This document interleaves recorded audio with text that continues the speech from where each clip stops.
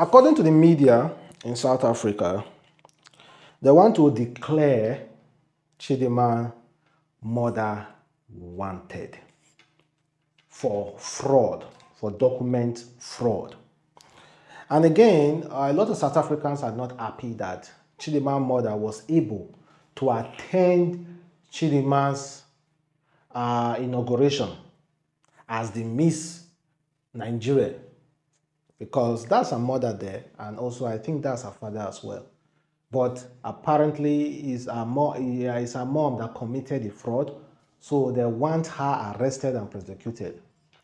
Meanwhile, they are also asking the South Africa government to withdraw Chidimma's uh, passport to make her excommunicado. That is how they call it on uh, John Wick um, uh, um, movie. Chidinma should be excommunicado to remove her as a South Africa person forever, for life. Ah, South Africa, see quite wicked though. Now don't forget, say this this girl did nothing wrong. She does not suffer for an offense she did not commit. Yes, I do feel like I was Nigerian. And I've always felt Nigerian from the moment that, that, I was born. It's not just because of the opportunity that was presented to me. And I think people who have known me will see that I've always embodied that spirit of being a pure, proudly Nigerian woman. So um, I don't want people to feel like um, she only feels Nigerian just because, you know, she was offered an opportunity. I've always been proudly Nigerian and I'll still be proudly Nigerian as well. We sure hope you one of the reasons why they decided to target her was because she was so proud being in Nigeria. Let us not forget about that. See, no matter how we Nigerians are feeling about it, let us not always forget that one of the reasons why this girl was rejected was because she proudly flaunt Nigeria. Before you say, oh, Chidimma doesn't deserve it. As a Nigeria, before you talk about, remember, why was this reason, why was this girl targeted? Because she proudly flaunt Nigeria. She hung out with Nigeria, apparently her first marriage a Nigerian. Come on, man. Her name doesn't sound South Africa, Chidimma, and Adesanya, Adesanya, something like that. Her name doesn't sound South Africa. Ah. I never knew you guys were, were, were now checking name.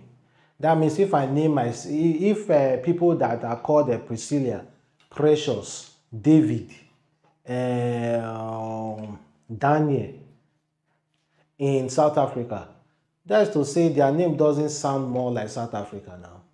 The best thing for you to drive them to European country now. wow, Allah did this life. Oh. Eh? South Africans, eh? now wow. You made her cry and uh, you humiliated her, and now they are coming for her mother.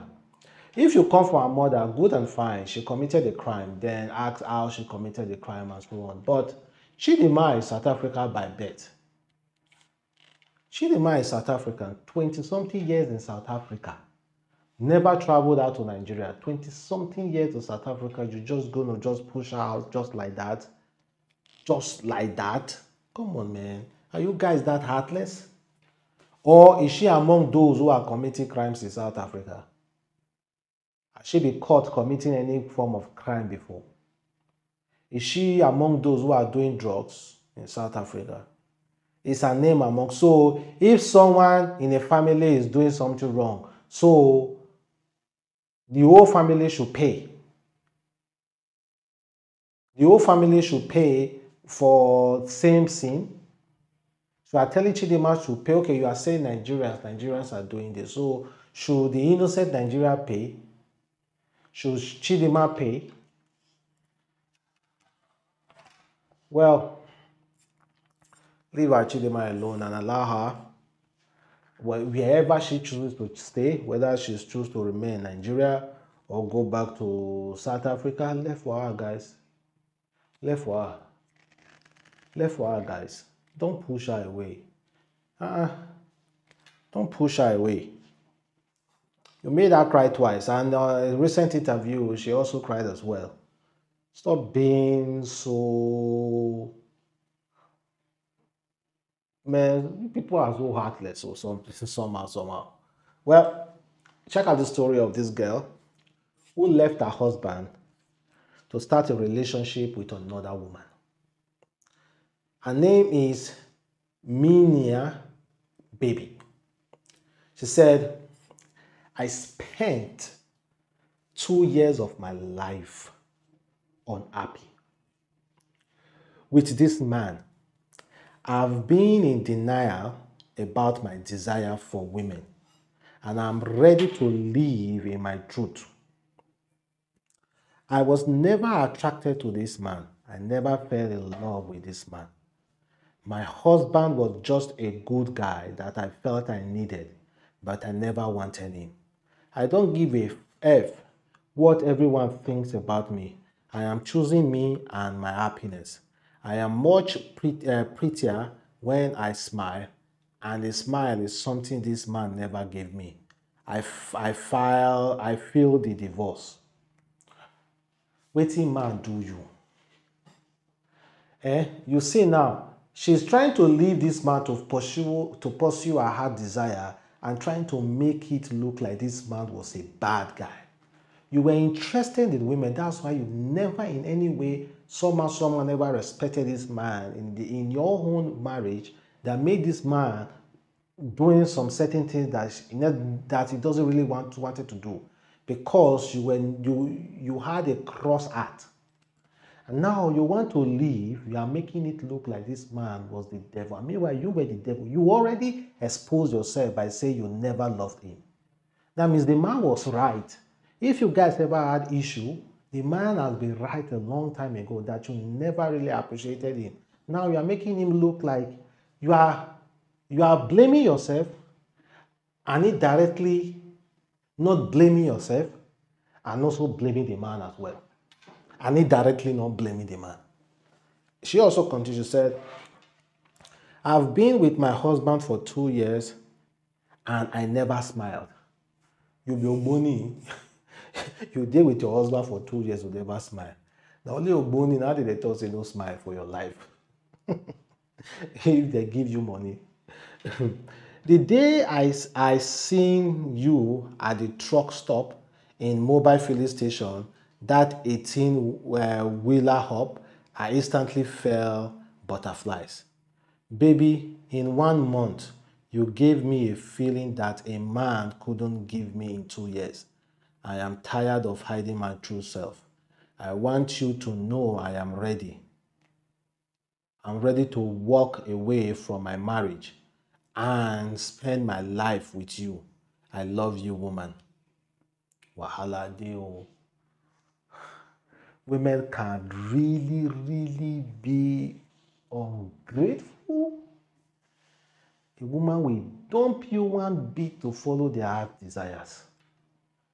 She said, Look, I said, I don't give a F what everyone thinks about me.